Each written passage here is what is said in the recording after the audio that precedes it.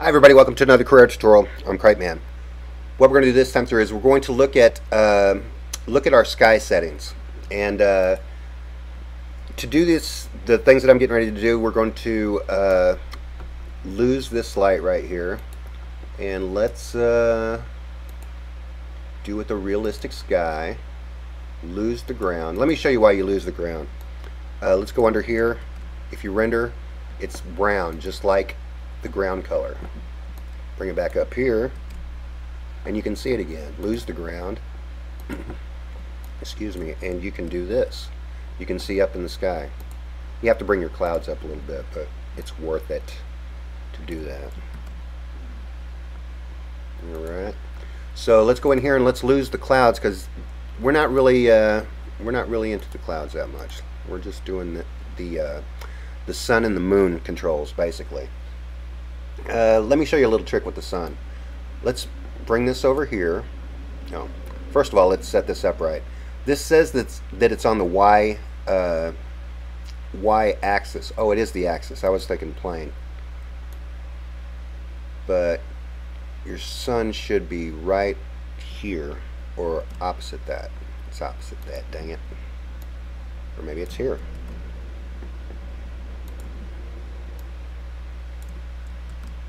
There we go. And uh, I want to show you something. You want to make the sun disappear? All you got to do is do the sun size to zero. Uh, why would you want to do that, you wonder?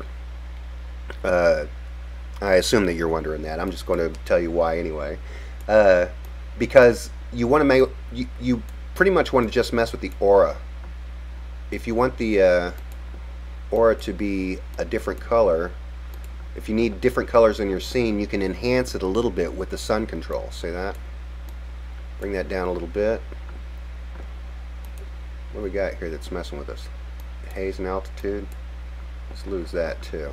Global brightness, bring that down a little bit. And see how you have a little more control even this way. Now, if you want to uh, if you want to uh, enhance this a little bit, I want red on this side and I want green on this side for some strange re reason, right? Uh, go ahead and show the moon and bring it to pretty much the exact same position. Oh, you want to see something cool? Let's make the sun size up. Let's make an eclipse. Move this over just a smidge, just a smidge, just a smidge. And then make the moon black. Kapow and there's your eclipse. The one that comes with Carrara, it shows the moon. Uh, make your moon black and you don't got to mess with that. Uh, let's make the aura size that big and let's get it away from the sun so we don't see it at all. And let's make our aura green just like we wanted, just like we want our scene to be for some reason. And move this over like this. And You got the you got that on this side and then let's bring the sun size down. Bring the aura up and now you have a little red on one side a little green on the other. Let's see how that looks. Ooh neat right? And uh, I have a little star scene that I want to throw in here. I don't really want that green. Let's do it like this do the standard and render that pretty. Now I have a uh, I have a uh, map that I made a star map that I made from just playing around with lights and stuff using the glow settings and I may have already done a tutorial. If I haven't I'll probably do another one uh, to show how I do that. But let's do stars dot JPEG that's the one kapow kapow stars in here. And now we have a nice bright scene. Now the brightness of your atmosphere has nothing to do with your you know I'm getting ready to say that and I don't really know for sure. Has nothing to do with your the the brightness of your background. Your background stays consistent depending on what you do in this area right here in your backdrop settings. Let me show you something here if you want to bring that down a little bit if it's a little too bright for your scene just bring it down and you can see the feedback going in real time in your in your preview window. See that? And you can do a lot of you can do a lot of cool things uh, with it. It doesn't have to be this dramatic. As a matter of fact, if you want to uh, sell the realism of a scene, you can you you can mute your colors just a little bit. See that to make it look just a little more uh, muted.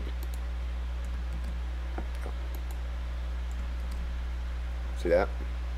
Shows your stars, shows your sky, and uh, yeah, it can add it can add a little bit of uh, color to your scene. You know, if you want that color, or if you want any color, you can pick your own colors and, and do that. But uh, yeah, it's a those that's a neat little trick to know. Uh, you don't have to show your sun or your moon. Oh, let me show you. Let me show you another trick while we're while we're talking about this, and then we'll cut you loose. Uh, let's go ahead and reset everything to default. Got this. All right. Sun size, aura phase. Let's bring our aura sizes down to zero because I want to show you something really cool. There it is. Let's make our aura black so we don't have to worry about accidentally you know, doing something with it. But uh, you see how far the moon is away? Uh, and this is uh, this is something I want to show you too. If you throw your moon into a scene and you have a backdrop, your moon has to be brighter than the brightest element in your scene or it's going to show through. Is it showing through here? I think it is. Yeah, you can see the stars in the back of this. Um, I've seen renders and I've done renders where uh, where that you just went go ahead and let the the stars poke through. That's really not a good look.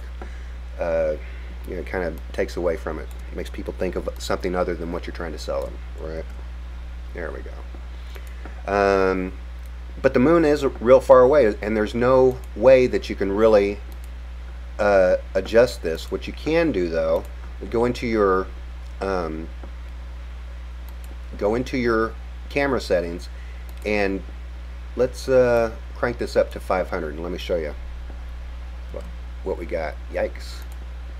And it's harder to control when you do it like this. Let's do 200 just so you can still see most of it anyway. There you go see the sun, the stars poking through must be brighter remember that let's bring this down just a little bit render bring it down bring it up, bring it to the side, bring it back over, and there we go. Now, you have a big old moon. Let's get the stars out of there. That's really distracting. Got a big old moon. Now, uh, let's go. Let's uh, see what it looks like when you 500% it. Kapow! See that? Nice and uh, big. Now, what you can do is you can save this. Save as the moon. M-O-O-N spells moon. Bring it back over here. Start a new document. Don't save.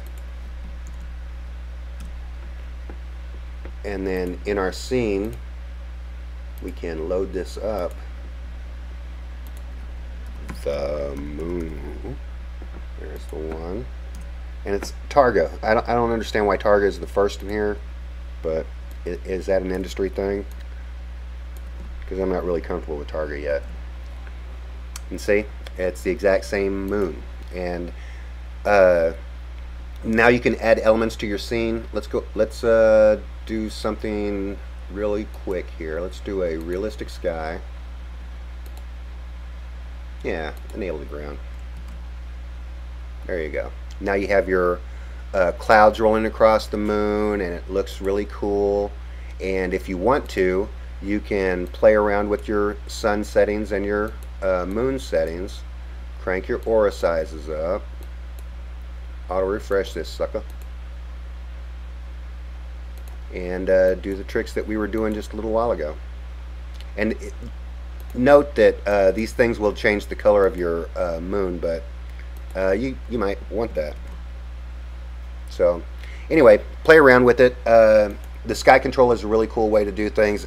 You know, I've, I've played with Bryce for so long, and, and I just became so accustomed to it. But Carrara is starting starting to slowly but surely uh, earn its place as my Sky editor of choice. So anyway, that's it for this time. I'm Cripe Man, and I'll talk to you again later. Uh,